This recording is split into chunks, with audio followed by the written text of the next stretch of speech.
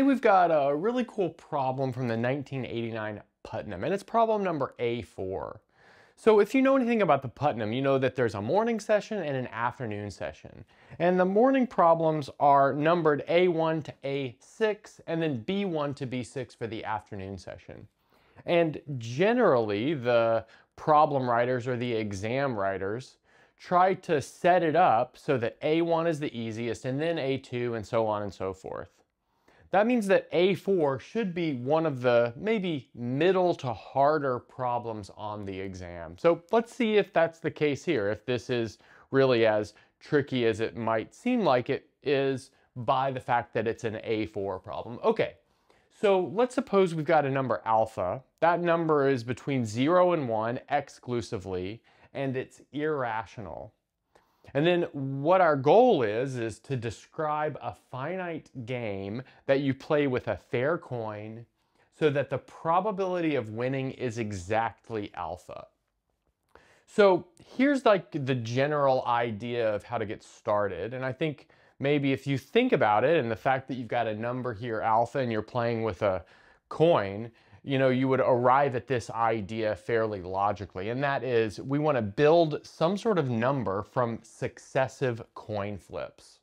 So for instance, if you were to flip heads and then tails and tails and heads and heads and heads and maybe stop right there, what number would that correspond to? And well, just to keep it kind of in line with what we have over here, perhaps it should be a number between zero and one. So I think maybe logically we would set this number or have this, you know, set of successive coin flips be associated to 0 0.1001111. So in other words, a coin flip of a head gives us a one and a coin flip of a tail gives us zero. I guess you could do the opposite of that as well, but we might as well go with this. But notice that this number is not really able to give us any number between zero and one unless we use a base system that is different from base 10. Notice that the biggest this number can be if we're working base 10 is 0.111111111 repeating. But we want any number between 0 and 1. So that means we need to view this in base 2. So let's maybe do that down here to like get us started. So let's say this is the start of our solution. So let's write alpha, which, you know, that's going to be a number between 0 and 1, like we're assuming, in its base 2 expansion.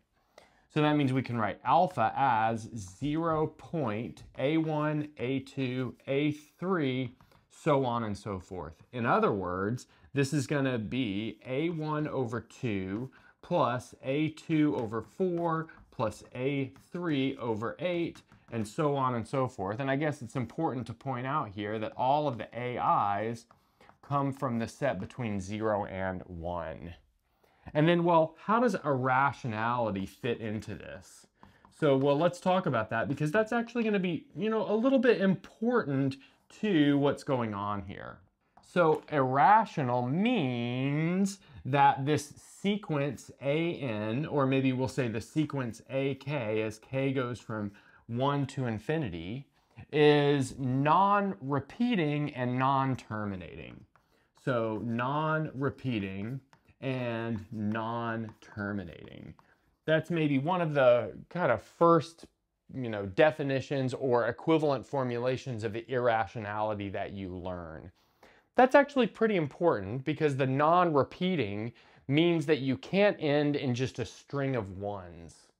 And it's important in this setup that we can't end in a string of ones because uh, ending in a string of ones is equivalent to, well, it's equivalent to the following. Let's maybe uh, just do it by example. Let's say we have 0.00111111 and so on and so forth forever and ever and ever. Well, that turns out to be equal to 0.01. Maybe let's put a 2 down here just to point out here that we are working base 2.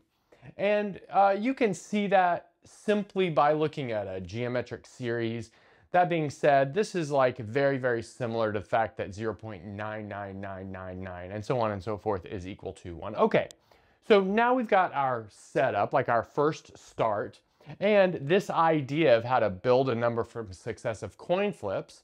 Now let's see where the solution would go from here. All right, we've got our setup. Now we're ready to really dive into the meat of this solution.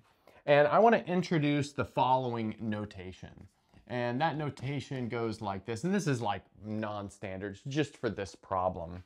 So let's set maybe AI bar equal to zero if AI is equal to one, and one if AI is equal to zero. So in other words, it's the opposite of zero or one, keeping in mind that we've got this base two expansion. So now let's see what's going on with this first flip, or actually before we talk about what's going on with this first flip, let's talk about what our win condition is. And that is we win if the number we produce by the flips is ever less than alpha, and that's strictly less than alpha. Okay, so now that we've got our win condition sorted out, let's see what's happening at each flip. And I guess I should point out here that we're using the fact that alpha is this 0.0, A1, A2, A3, and so on and so forth. So let's maybe bring that up here so we don't forget it, because that's going to be important to keep. Because that's going to be important to keep in mind.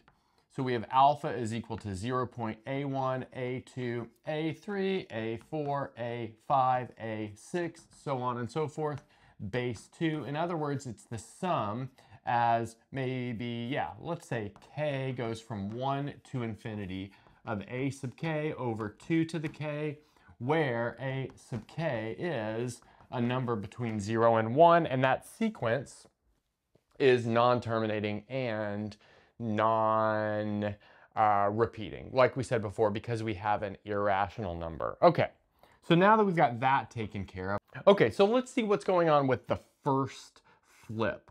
And if we understand what's going on with the first flip, then it's pretty easy to get some sort of idea with what's going on with maybe an arbitrary flip. And well, this flip is gonna split into two cases. And those cases are going to depend on if A1 uh, is 1 or it's 0. In other words, if this number right here, this first digit, is 0 or 1. So let's say here we've got A1 is 1, and here we have A1 is equal to 0. But, you know, like I just alluded to, these two are going to split into two cases as well. So let's maybe put those cases right here and right here. And then this is also gonna split into two bubbles. So let's split those in, into two bubbles as well. Okay, so if the first flip is A1 and we flip a one, in other words, we flip a heads, then that means that the number that we've built so far is equal to alpha. But if it's equal to alpha, then it still has the possibility to be less than alpha in successive rounds. So that means that we're gonna go to the next round. So like I said, if A1 is one and we flip a one or a heads, then we go to the next round. And what's the probability for that? Well, the probability is pretty clearly equal to a half. You might say, well, there are four outcomes here, but there are really only two outcomes. It's just that there's two cases. There are, there's this case right here, whereas if A1 is one, there's this case down here, which is independent, which is when A1 is zero. Okay, so now what happens if we flip a zero?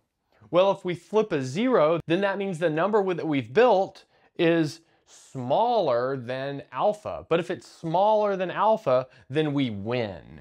So we flip a zero, we get a winning condition, and that winning condition comes with a probability of one half. Okay, cool. But now, well, let's observe that p equals a half in both of these cases is equal to what? Well, it's going to be equal to A1 over 2. But now look, that means that the probability of winning, which is a half, can be written in terms of this number A1. The probability of winning is exactly A1 over 2. Now let's go down here to the case when A1 is 0. So if we flip a 1, then that means that our number is larger than alpha, and it can never get smaller than alpha with successive flips. So that means we are going to lose. But if we lose, well, that's a probability of a half as well. That's because we could either flip one or zero, heads or tails. Okay, then what if we flip a tails, which is the same thing as flipping zero? Well, that means that our flip matches exactly the A1 equals zero, but that means we're gonna go to the next round. And the probability of going to the next round is a half, just, you know, like we had with these other cases as well.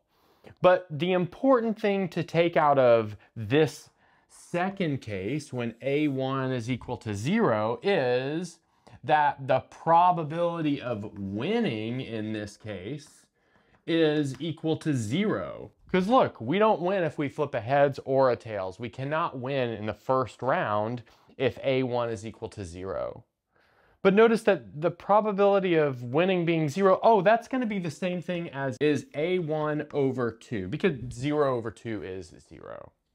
And now, well, the big takeaway here is that the probability of winning in the first flip is, well, notice that it's A1 over 2. It's 0 over 2 in the case that this first flip is 0. It's 1 over 2 in the case that the first flip is 1. It's 0 over 2 if this first digit is 0, and it's 1 over 2 if the first digit is 1. But let's say that we don't know exactly what that first digit is, then we have this nice summary of the probability of winning in the first flip under this game that we've constructed is A1 over 2. So now let's maybe keep that in mind as we move on to successive rounds. Okay, so, well, what did we see already? We saw that the probability of winning our game in the first round was A1 over 2. Now let's look at the probability of winning in the second round, and once we understand this, we definitely understand what's going on in general. Notice the probability of winning in the second round is the probability of getting to the second round. We have to get to the second round to win in the second round times the probability of winning once we are in the second round. Well, let's observe that the probability of getting to the second round, that's actually pretty easy to calculate. Because if we saw in both of those cases that we had on the board before, the probability of moving on to the next round was always one half. So that means that this number is always one half. The probability of getting to the second round is always one half then the probability of winning once we're in the second round, well, that's going to be essentially the same sort of argument that we had for the probability of winning in the first round, which is going to give us A2 over 2. So putting that together, we have A2 over 4, in other words, A2 over 2 squared. But now, well, we can generalize this to the probability of winning in the kth round, which, well, we'll have to do the same sort of calculation, the probability of getting to the kth round. But that's easy to calculate because the probability of moving through each round is one half. But we've got to move through k minus one rounds to get to the kth round. So the probability of just getting there is going to be 1 over 2 to the k minus 1. And then times the probability of winning in that kth round once we're already there is essentially the same thing as we had right here. And for this bit right here, it's going to be ak over 2. Putting this all together, we have ak over 2 to the k. And now, well, the end of this problem is in sight. So let's see what we need to do to finish this thing off. Okay, well, we just finished arguing that the probability of winning in the kth round was ak over 2 to the k. And now, well, let's see what the probability of an overall win is.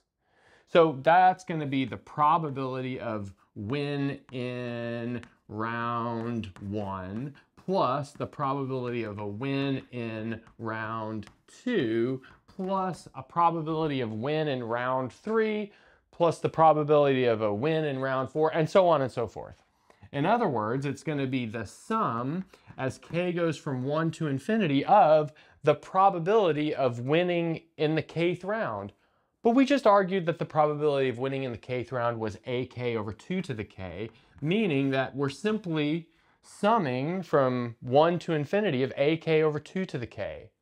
But check it out, that's exactly our number alpha. But that means the probability of winning our game is exactly our number alpha, which is exactly what we wanted to do. We wanted to describe a game that had this as the probability of winning.